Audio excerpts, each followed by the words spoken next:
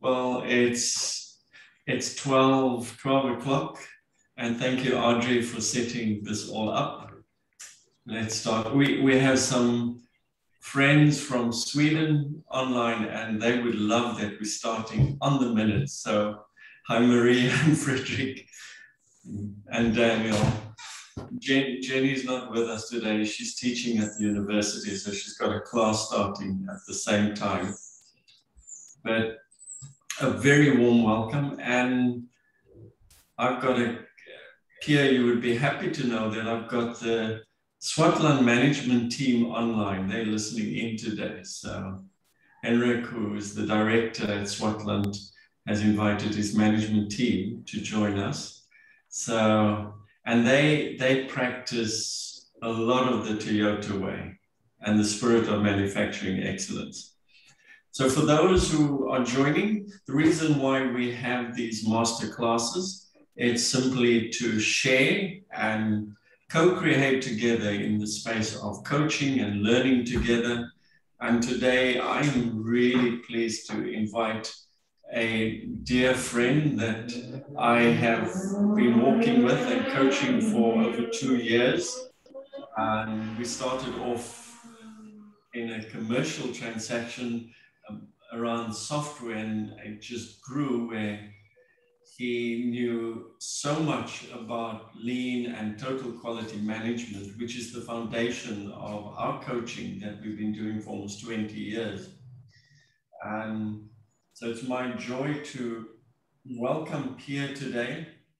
He's been trained by Professor Norman Faull of UCT, and he is the Africa lean um, expert. So you, Pierre's done his master's at UCT, and today you, you, he's grown beyond that in a lot of his approaches to lean and combined it with what we are doing in coaching and has developed some very interesting models, including some amazing software. So, Pierre, and I'm, I'm happy to, to invite um, Kiria, Pierre's daughter, who who's been piloting she's been studying as well at UCT. So she's been using the approach that we have been practicing. So, and she will graduate soon, um, having mastered lean coaching. And I hope as an engineer, she'll also become a lean practitioner and you, you continue to use this language. And we also have David Walker, who will be on panel later this today. So Pierre, I'm not going to take any longer because we have a full day and we, I know, especially with the Swartland team, they restricted to the hours. So we will, the lights will, the load shedding will start at 1 p.m. So over to you, Pierre. Well, well, thank you, Charles, for opening the stage uh, to me to introduce Lean Coaching. I've, uh, I've scripted everything. So I'm going to read so that we don't waste any time and, and we can spend more time uh, in the practical and we can spend more time uh, with the testimonies from David and also for Q&As later on. So the tagline for today's masterclass is systematically coaching servant leaders to make their people successful. So let's start with one definition and the focus of this session. A servant leader is a person whose focused drive is to make their people successful, and in particular at continually self-developing and improving their processes. So the coaching context is that of leadership coaching and business coaching. What I would like to show you is that develop, developing habits of change will shape the long-term success of a business. And these habits or practice routines are that of coaching and scientific thinking. And we use the scientific method to overcome obstacles and achieve goals. So on the menu today, we first start with the context of the Toyota Kata and online coaching. And I will define the word kata a little bit later. Then I'll explain the practice of lean coaching as it results in habit forming and identity changes. Next, we have an actual coaching session with one of today's guests. Just pray that it is not you. Um, we then have the privilege of hearing from David Walker, one of the uncommon leader from Common Architecture. Uh, finally, I'm looking forward to your reactions and inputs, all that in the next 55 minutes. Okay, so let's get cracking. Let's place lean uh, coaching in context. What is the main difference between these two pictures? And you can, you can contribute.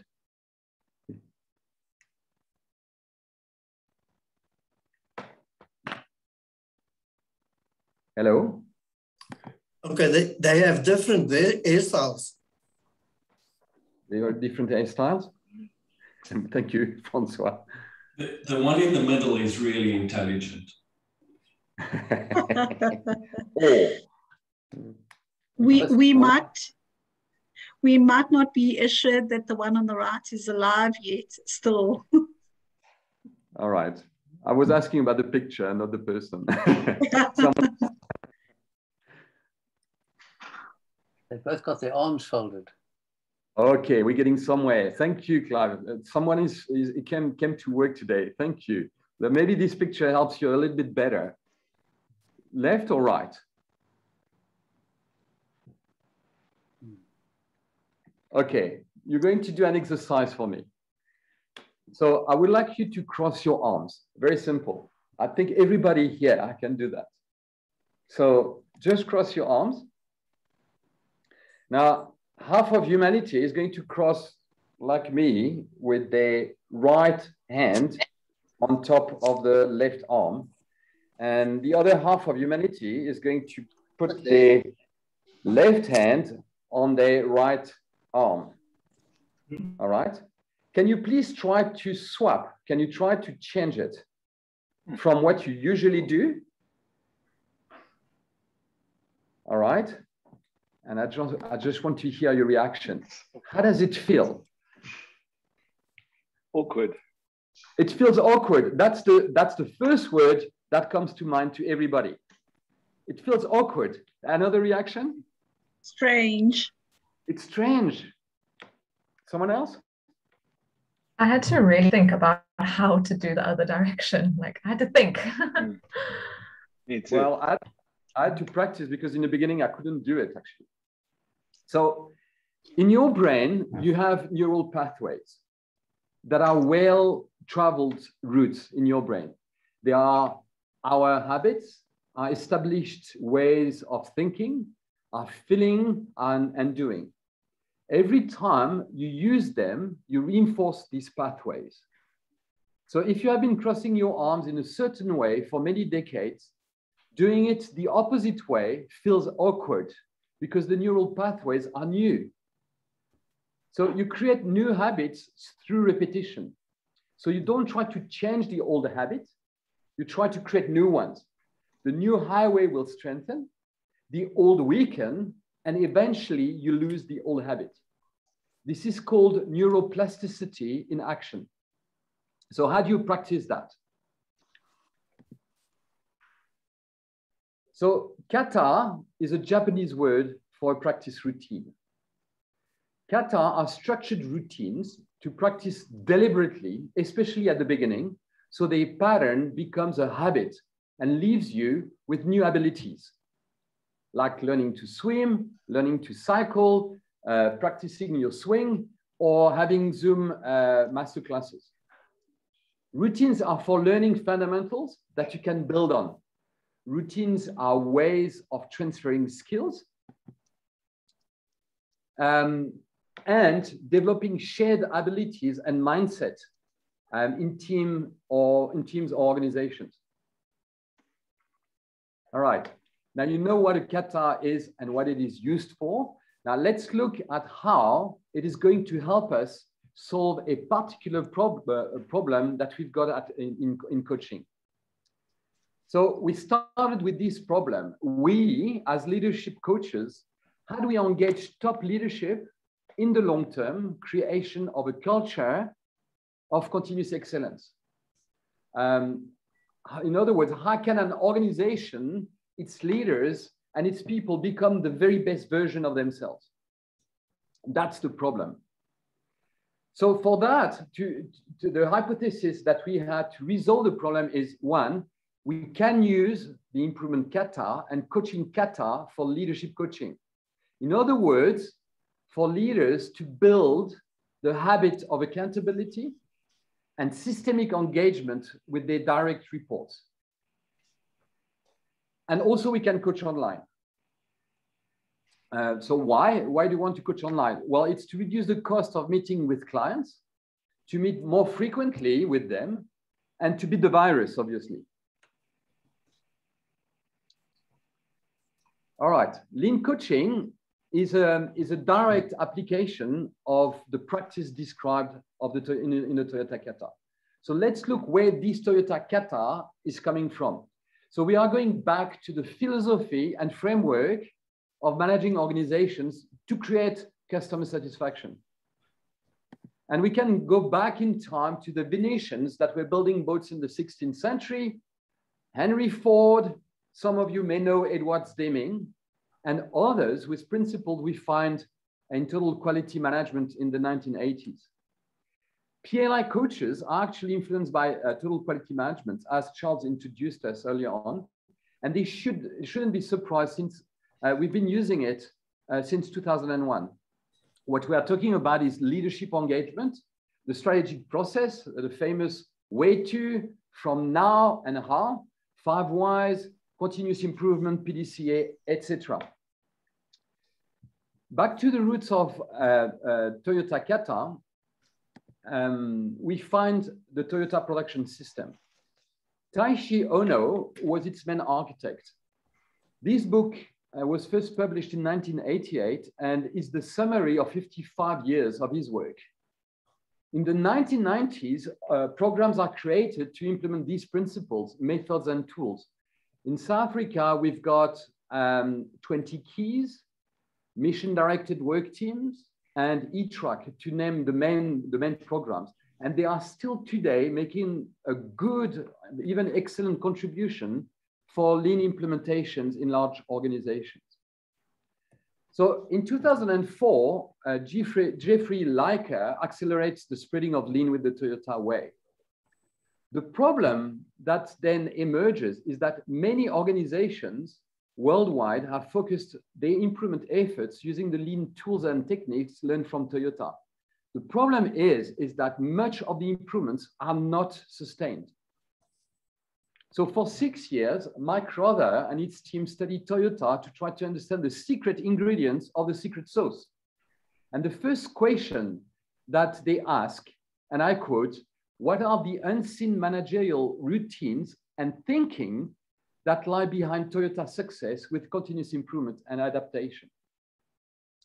But more importantly for us is the second question that was, how can we offer, uh, how can other companies develop similar routines and thinking in their organizations. Because we are not Japanese and we don't necessarily assemble cars. So how is it, how is that thinking pattern relevant to us? How can we apply it into our organizations here in Africa and in the Western world, for example? Rother, observe, observe that Toyota managers follow the consistent pattern of thinking, processes, and coaching behaviors. He codified it into a, a, a framework uh, that has become known as Toyota Kata. And the first book was published in 2009. I think it's also important to mention lean startup, like for example, like uh, some of our colleagues like Hawken, who's doing uh, lean startup and, and uh, in incubation and incubates companies. And that's based on the scientific thinking method described in the, the kata, the improvement kata, Eric Ries talks also about validated learning as the desired outcome of any experimentation. He also makes reference to the Toyota way. So in 2015, I am trained by Professor Norman Faull from the Lean Institute Africa. He was trained by Mike Rother, um, and he's also mentioned in, in the latest book, uh, the Toyota uh, Kata uh, Practice Guide. That was the third uh, training workshop in Africa back in 2015. I ran several workshops in Durban and Madagascar and trained some of my clients, but the practice was never entrenched. So in March last year, after several months uh, of, of Charles coaching me, at that time, we are in the process of designing an online, coach, online coaching framework uh, for uh, PLI. And then we've got COVID. That's when we had the brainwave that it would make sense to use the kata online and push the frontier of leadership coaching. We call it lean thinking, lean, lean coaching. Since then, I've practiced with my colleagues, some of my clients, and my three children. One of them is here today. Hello, Kiria. So more than 150, possibly 200 sessions later, I'm ready to share the experience with other leadership coaches. Okay, let's talk about the practice itself. How to form a habit. We spoke about neuroplasticity earlier on. Let's go a little bit deeper. A habit is a behavior that has been repeated enough times to become automatic. This is what we do. But every behind every system of actions is a system of beliefs, your worldview, your self-image, your judgments about yourself and others. This is who you are. That's your identity. The most practical way to change who you are, what you believe, is to change what you do. True behavior change is identity change. So the more you repeat a behavior, the more you reinforce the identity associated with that behavior. The focus is on who you wish to become. And this will define what you will achieve. So the outcome, the goal, um, the goals or challenges are what you wish to achieve. What is important is the direction of the change. Now, the outcome will look after itself if the identity changes. Behavior leads performance. And that's why we talk about key behavior indicators that are leading the key performance indicators. Let's take examples of habit forming that transform organizations. All right. In the case of, of leaders who believe that they are being transformed into servant leaders, their behavior is to coach their people. The outcome of that coaching is a thinking people. All right. In the case of the people of the organization who think of themselves as becoming problem solvers, their behavior is to improve their processes. And the outcome are simpler and safer processes that perform better, faster, and cheaper. So what are some of the practice routines that change people and leadership identities? Will I explain next the improvement kata. All right, so if you want to, to do lean coaching or the improvement kata, there's only four keywords in the jargon that you need to know. All right, for definition. The first one is the challenge. And the challenge is the general direction where a company, a division, a department, an individual, a team are going. It's, it's a set of long-term objectives. They are time-bound and they are specific. So in the case of a company, it could be the breakthrough objectives in 36 months' time. In the case of a team on the shop, shop floor, it could be a short-term improvement that would take, let's say, two months. That's the challenge. The next one is what we call the target condition. It's the short-term objectives. It's where we're going in the next two days, two weeks, two months, probably not more than three months. All right. So it's shorter in the future. And when we meet our target condition, we are coming one step closer to the challenge. The next thing is that between today and our target condition, there are obstacles. There's something in the way to our short-term objectives, to our short-term goals, which stops us from moving forward. That's the obstacle. Call that an issue, but it's something in the way to the target condition that we eliminate through experimentation. Why? Because we don't know what we don't know. So we're going to experiment our ways to eliminate the obstacle. And the last one is the threshold of knowledge. It's the, po the point where we don't know what we don't know. You can't see further in the future.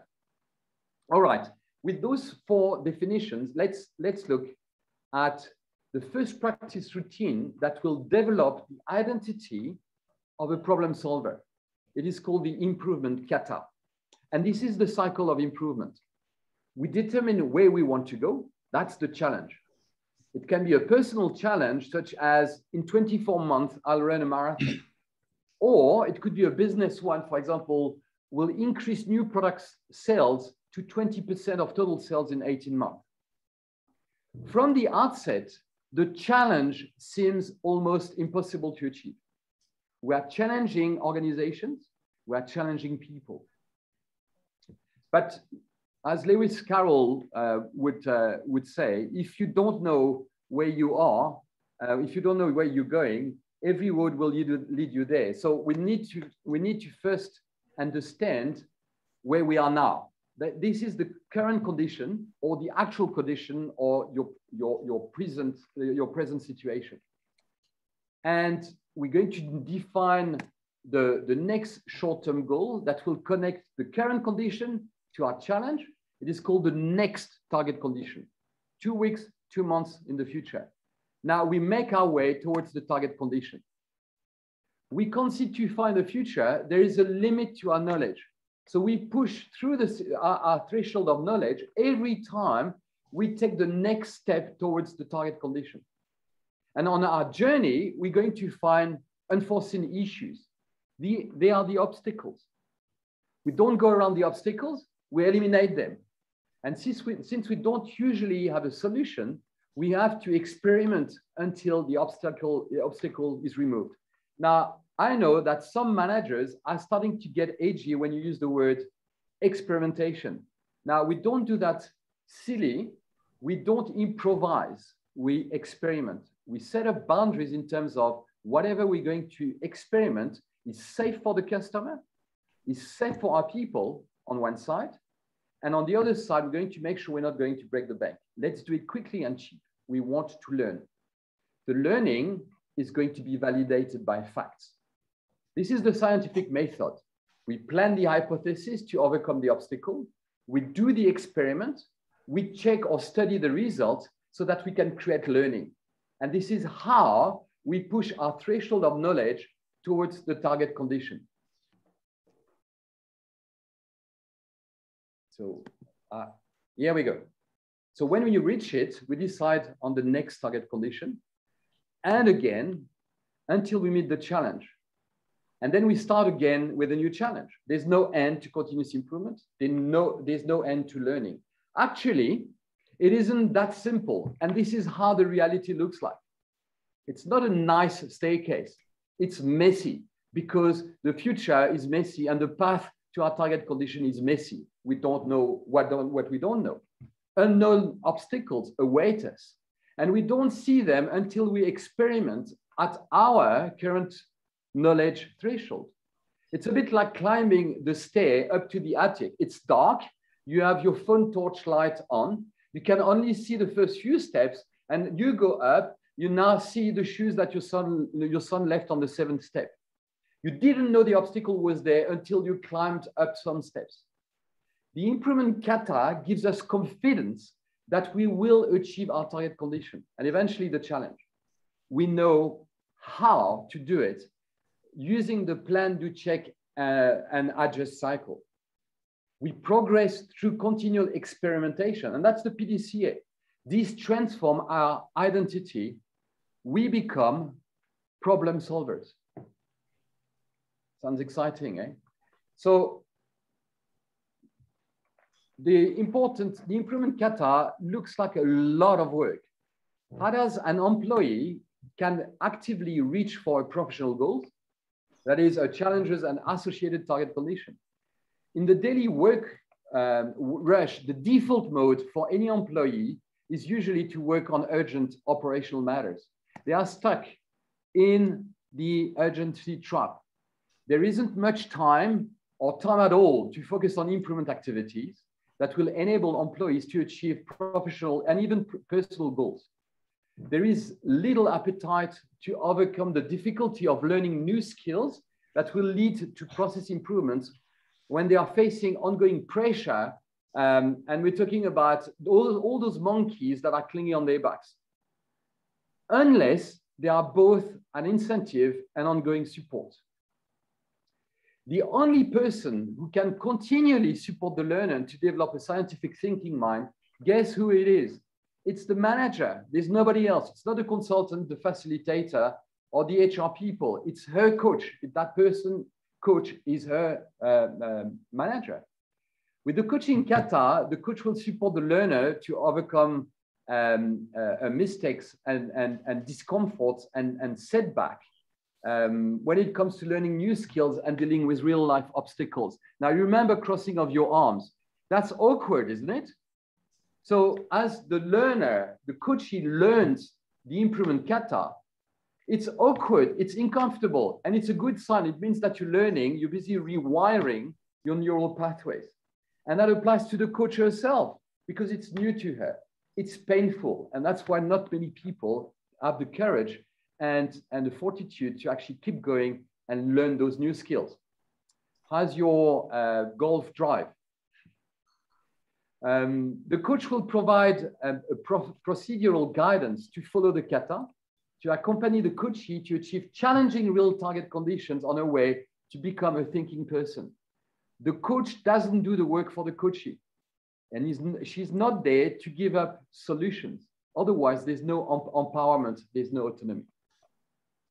So giving people a certain degree of control over their work fulfills their need for freedom and provides opportunity um, uh, to, to, um, for taking joy in work. And I forgot to say is that the coach is there to provide accountability uh, in short intervals.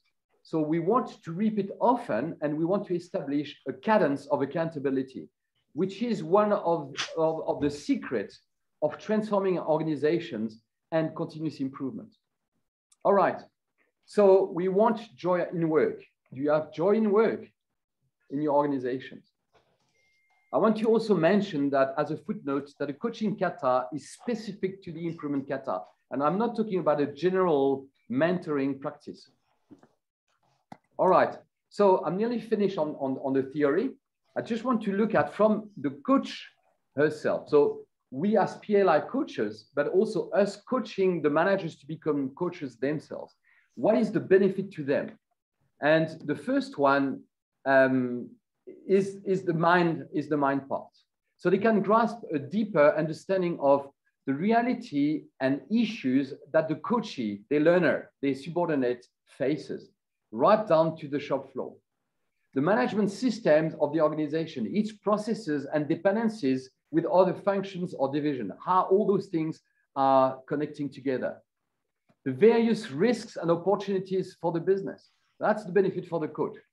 And she will also develop a fact and risk-based thinking. So we know how to take some calculated risks because we can experiment uh, safely. Um, now, and finally, that's the problem of senior management, how they can juggle um, the zooming in and out of um, strategic, systemic, and operational focus. Right, so now the hard part. The coach learns to empower and leads with authority and humility. Now, authority, uh, it's due to the better decision making for both the coach and the coachee, your alignment to the coachee goals, to the business objectives, and her willing subordination based on mutual respect now, humility, it's because the leaders, they learn to say, listen, I don't know the answer. Let's go and experiment.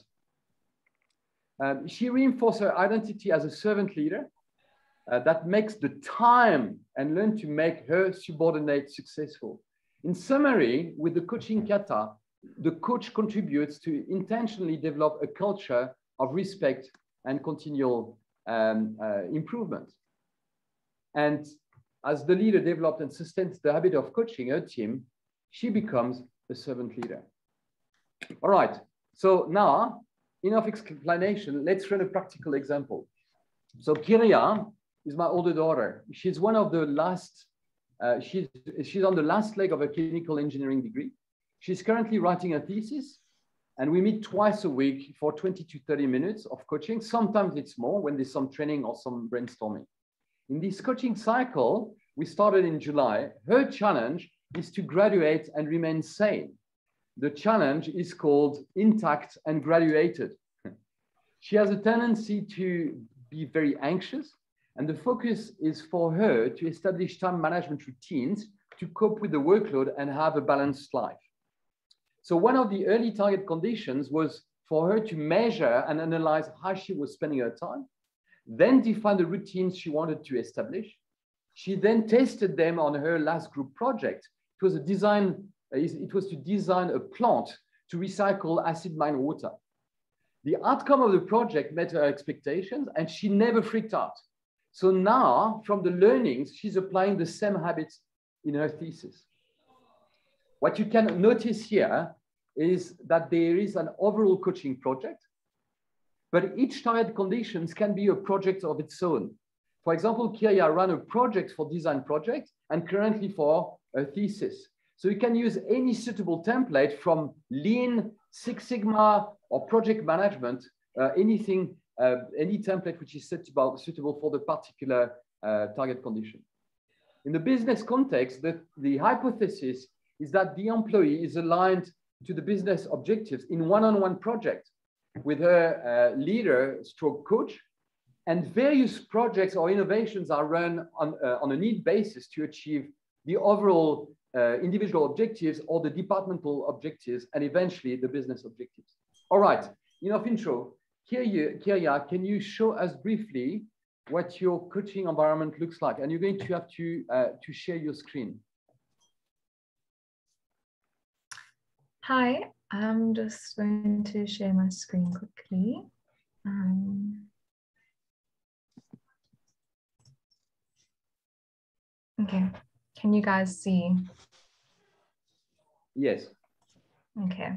All right, so this is my coaching space. Um, on the side, you can see I have some other spaces over here, but those are all my projects. Um, but I just want to quickly show you, so the challenge intact and graduated here is just a description of the challenge itself. And then here is just an evaluation section, um, which we'll do at the end um, when the challenge is completed. Um, and it also follows the same format in the target conditions. Um, I just want to quickly say that I really enjoy these evaluations. Um, maybe it's my control freak side, but I like to I like to reflect and I like to see what I can learn and then apply in the next season. Um, so here you have your target conditions um, and then obstacles and then the next steps. And then here coaching notes, which I find very important to, you know, um, keep track of your thoughts because so much can happen in a week and it's nice to go back and see what is happening, what you thought the previous week. Um, and here, this is where the good stuff is. This is where you can see what you've already done. Um, it makes you feel very like accomplished um, and what you have delivered previously. Um, and here, these are related articles where there are things that you always want to refer back to and keep editing and adding to.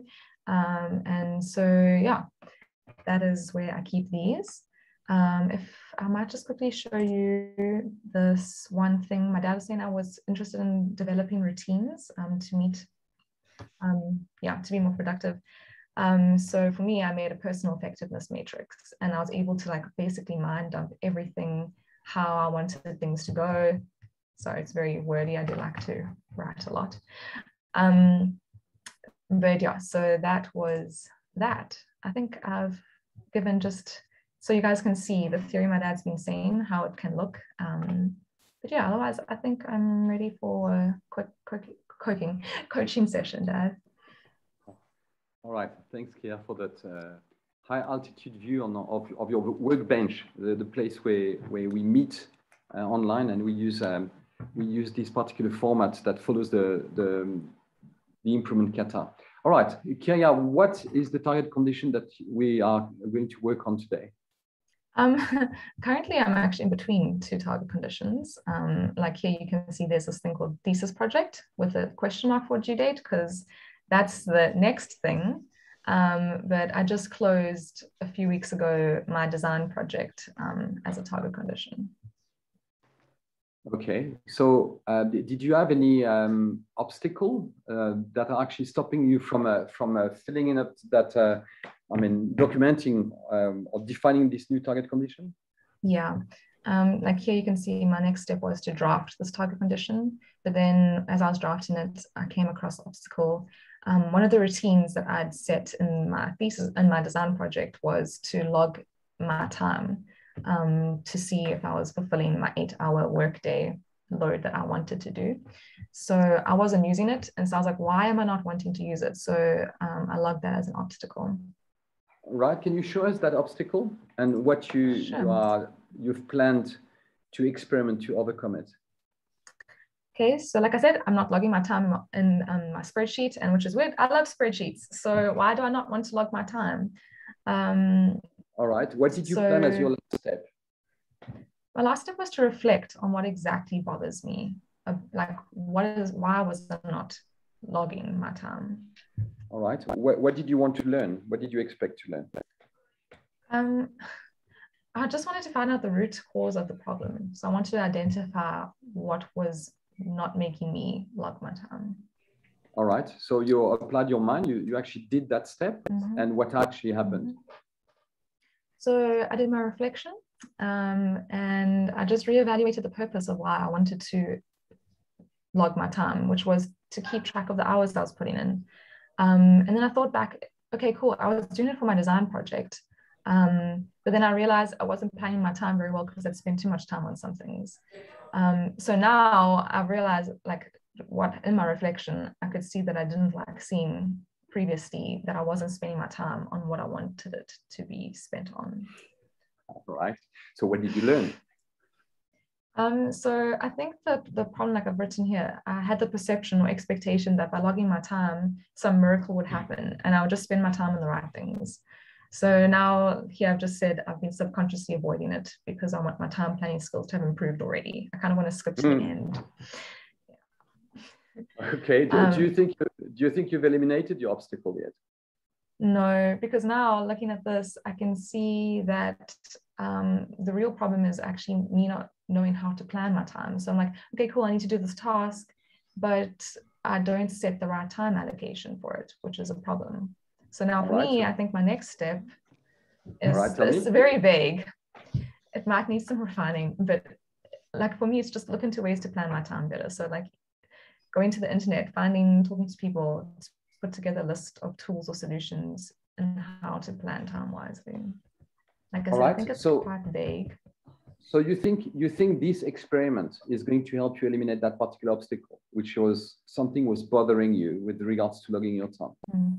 Yeah, like what was bothering me, I guess it, what was bothering me has been answered. Like I didn't like the fact that I wasn't planning my time wisely, but if I really wanted to tackle this obstacle, the point is to resume logging my time because I've decided right. I want to keep logging. So maybe now this experiment looking at tools or solutions to plan time wisely, maybe that'll be a step closer.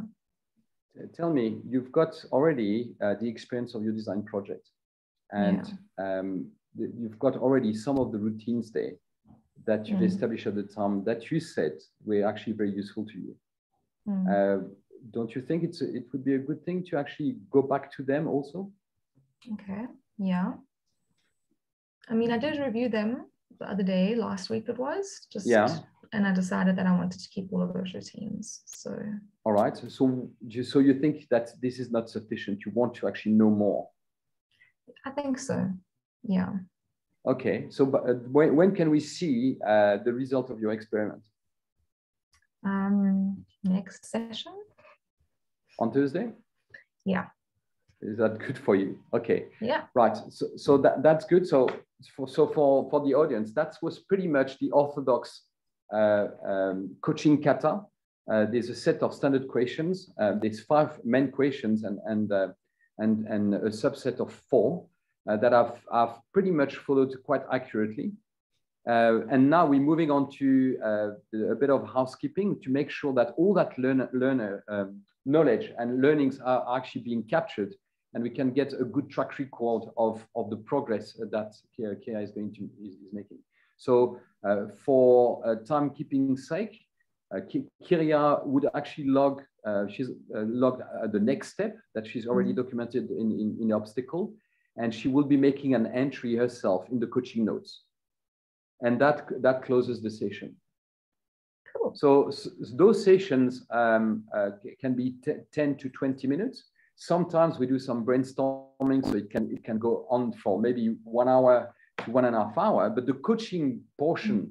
itself uh, shouldn't be lasting more than uh, 20 minutes. Um, last night, um, I coached my, my son and he finished his trials for his, his matric, which is the, the senior certificate in, in South Africa. He's in his last year. And now he's, he's in last week of school. And then he's, he's revising and he's writing, writing his senior certificate. Um, and the power utility here in South Africa uh, pulled a, a, blackout on us.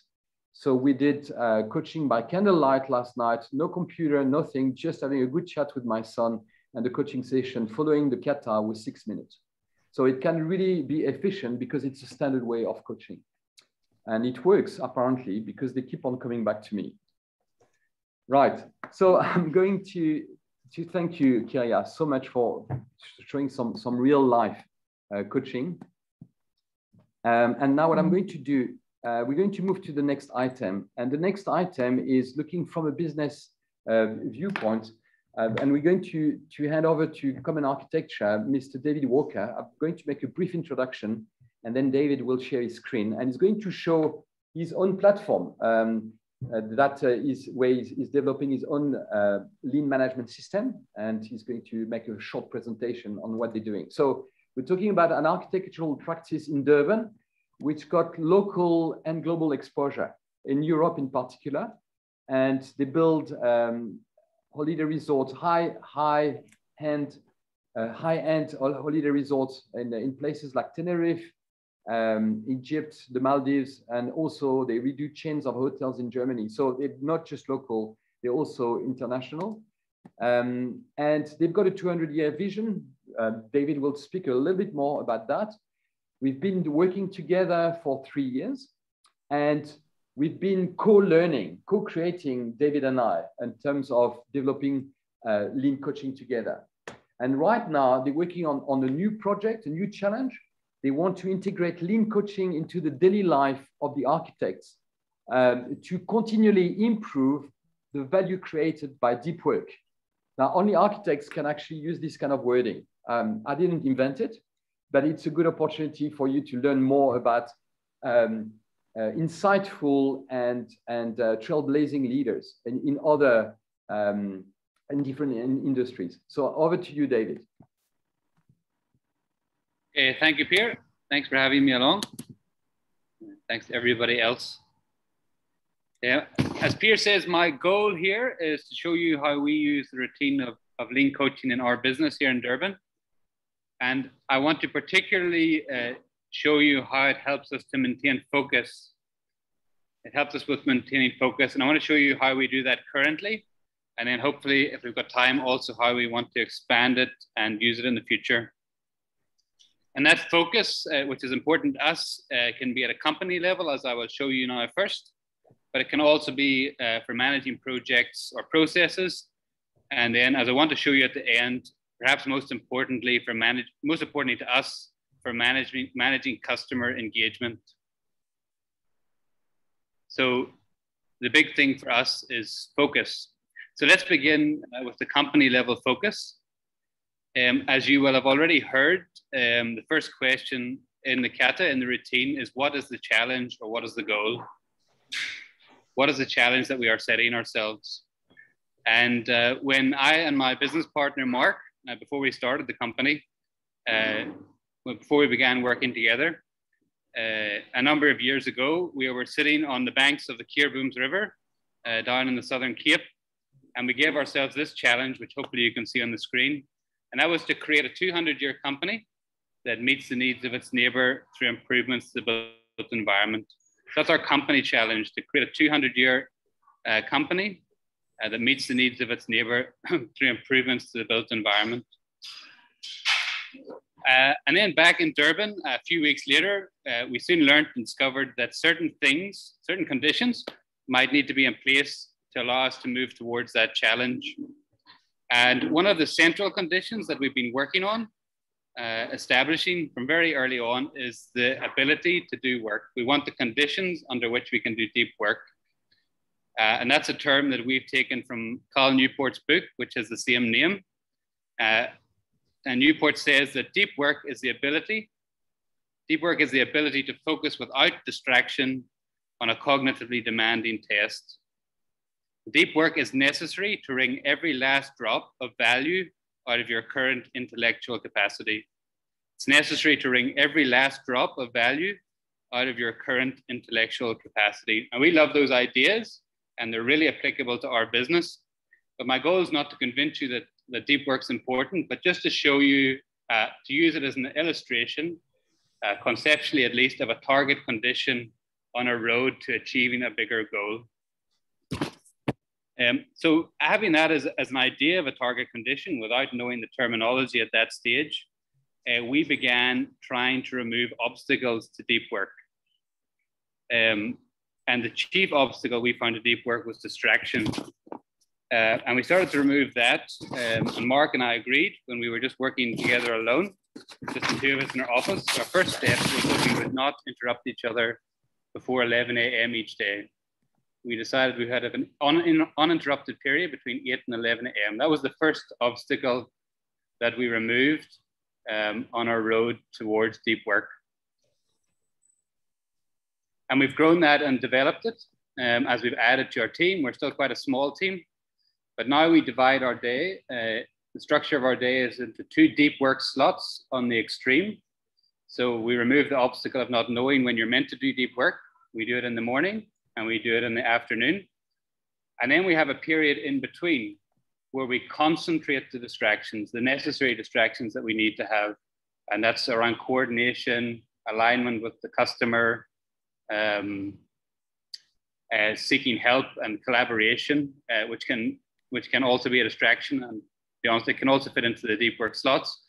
But uh, this has been a big focus of our company over the past few years, removing obstacles to deep work. So without knowing, uh, actually on knowing the kata, uh, we were already practicing it. And then over the past few months, Pierre has uh, introduced us to the terminology of his coaching routine. So, giving us a terminology around uh, what we were already doing and uh, bringing, bringing a focus to it. And the nice thing about that for me is that it has given us a positive, um, a positive agenda in working towards our target condition. And perhaps it was part of my personality at the start, where I was, I really wanted to get rid of distractions. I wanted everyone to behave themselves and not interrupt. Um, and it became a bit negative, perhaps. And uh, the nice thing about the, the coaching routine is that it's a positive. The, go- the eyes are always looking forward to the goal. The eyes are always looking forward to the next target condition. And we're positively, when we deal with obstacles, we're looking at it in the positive light of removing them so that we can move uh, onwards and upwards. So that's been exciting for us. Um, we had another, I had another bit of a mental breakthrough recently, um, listening to a podcast um, by Michael Lewis. Um, and there's, a, it's a series on coaching, and I haven't listened to it all. But in the first podcast, he's uh, talking about the idea of coaching and how it's developing and how it's becoming more commonplace. And one example that he used was uh, Roger Federer, a tennis player who um, at the peak of his powers was the, the best tennis player in the world. And he was pointing out that um, even Roger, who was the best, Federer, who was the best, had more coaches than anyone. And that the most successful people in the world were surrounding themselves with coaches and increasing the gap between them and everybody else. So that, um, so, so to date, uh, the current condition is that uh, Pierre has been coaching me uh, twice a week and I've been loosely coaching uh, the team through process improvement projects every fortnight. So that's the current the current condition in terms of uh, coaching. Um, but now our next step is to roll that out to everybody to try and take advantage of this idea of coaching and this methodology that we have for it. Um, so that's that is our, our next challenge um, to roll out coaching uh, to the team in order to um, further entrench and yeah, ma maximize the benefit of our deep work slots. And we're not quite sure how that's going to work in practice, um, when it's going to be, how long it's going to be, um, but we know we want to do it. And one thing that we are quite sure about is that we don't want uh, professional coaching. We don't want Pierre to be coaching everybody, but we want to develop a culture um, where we're all coaching each other and being coached on a regular basis. Um, so that's our that's our next challenge and our next steps. Um, one other thing that I did want to talk about, and I think I think I'm not going to have time, so I'm not going to go into it in any detail. Is just uh, I've been reflecting recently on uh, Eli Goldratt and the goal and the critical chain, which I'm sure many of you will be familiar with. Um, and I, was trying to work out um, what is our constraint in our projects. Um, and according to the critical chain, I hope this it'll be obvious in one minute why I'm why I'm explaining this. But the the critical chain explains that the constraint on a project is always time. The constraint on a project is always time. And I've been reflecting on what is our constraint. And what on our projects, the bulk of the time is spent on uh, waiting for customer feedback and suitable customer engagement. And I could explain that, but I don't have time. Um, but I wanted to illustrate how the kata is going to be useful to us in dealing with that. Um, so if, if our constraint in our projects is customer engagement, if we're able to develop a coaching uh, kata and a routine with our customers. It will help to identify the constraint um, by identifying where the obstacles are to us making progress towards our goals. Um, the kata will then also allow us to subordinate our other, the other steps in our process to that constraint. And then it will also, uh, through repetition, force us to elevate the constraint and focus on the problem of uh, of elevating the constraint and, and getting more throughput through that. So uh, I want to share that because it's on my mind. Sorry for squeezing it in here. Uh, but but we, uh, we're really enjoying the, and, and fundamentally, I think Pierre's right that the critical thing is that the change in behavior leads to a change in identity, which changes our way of thinking about these things. So the kata then becomes, so this, this problem of my constraint um, the kata and scientific thinking becomes the obvious, uh, or certainly the first port of call uh, when I try to uh, try to come to solving it. So I hope that's helpful. And thanks very much, Pierre. Back to you. Wow. So here we go. We spoke about lean startup, lean, and now we've got the theory of constraint. All that in um, in one hour. Uh, that's that's quite uh, potent. Well done, David. Um, well, I wasn't expecting that, David, and it just pleases me to see how, how far you, you and, and Mark and Common Architectures have grown over the years. Um, so yeah, uh, David and I, we've been uh, interacting for three years, and we, we started to experiment with the, the, the coaching kata probably around June last year. Right, now I would like to open up the, the floor to you guys, and uh, we still have a few minutes, and I'm probably going to hand over to, to Adri uh, to, to facilitate um, the, the, the rest of the, of the, of the session. Um, thank you, Pierre. Um, yes, if anyone has any questions, comments, um, you're welcome to just unmute yourself and jump onto the floor.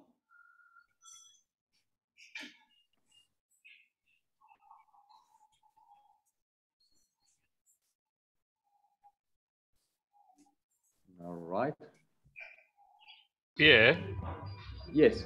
Alistair. Yes, Alistair. I'm particularly um, interested in hearing about the scientific thinking Um, maybe just to expand a little bit around that. I think it was on the slide where you had the managers as coach. It was one of the first bullets there. Thank you. Yes. So thank you, uh, Alistair. So the, the, scientific thinking has been there all along since um, uh, Deming introduced PDSA um, in the late 1940s. Um, so every, every time we talk about continuous improvement, we talk about uh, the Deming's wheel or the wheel of continuous improvement. We're talking about um, uh, PDCA, but that's the scientific thinking itself. Um, and maybe I can really go back to, uh, to that uh, PDCA story here. Um, show you that's the wheel of improvement. Um, where would that be?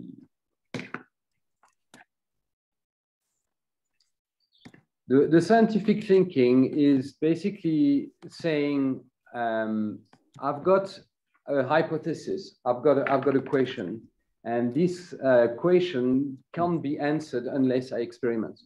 So in our case, we say we've got a particular obstacle that's stopping us from reaching a particular target, uh, a particular near-term ob objective. Um, so we, because we don't know the future um, and things are new, we want to establish, we want to do something about it. So we're going to make a plan. And that plan is to say, if, if we do that particular action, um, then uh, we will learn um, on how we, we understand the problem deeply um, and if that particular action is going to actually eliminate that obstacle. But from the outset, we don't know it because we've never done that before. Um, so we're going to set up an experiment. That's the planning phase. And we do the experiment. Once we've done the experiment, we've got a particular outcome. And that's when the scientific method comes into place, that we're going to check the result against the hypothesis that we had in the beginning. Uh, actually, the, the, before we spoke about the PDCA, it was called the PDSA, and S stood for study, because it was really the scientific method, is to study the outcome of an experiment. And the difference between the outcome and the hypothesis, what you were expecting, the difference between the two, that gap is a new learning you didn't know it before. What Eric Ries talks about is uh, validated learning. When we, we now are deliberate in terms of trying to understand a particular problem. And in the case, for example, of a lean startup, is you say, we've got an assumption that our customers want to buy that particular product. It's just a, I believe. I believe is a hypothesis. And by experimenting, we're going to transform the I believe into the I know because we validated that learning. That's the scientific method. And then we can start to actually plan for the next experiment based on that learning. So the focus of the kata is totally to learn, but to learn to improve and to improve to actually achieve goals that are good, good for the person, uh, the, the, managers, and over time helps uh, businesses to navigate through uncertain times and, and, and remain successful and sustainable over a very period of time. Is it helpful, Alistair? Thank you, Pierre. Absolutely. Thank you.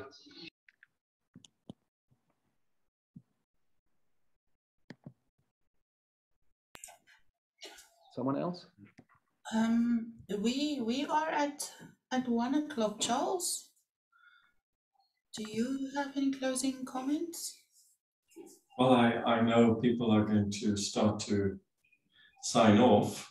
Um, and what, what I would like to do is if you have questions to post it in the chat as we close, or you can email it directly to myself or Audrey, and then we will take it up with Pierre and send it to Pierre. He'll send it to you. Pierre, maybe you can also just post your email address in the chat. Sure. Um,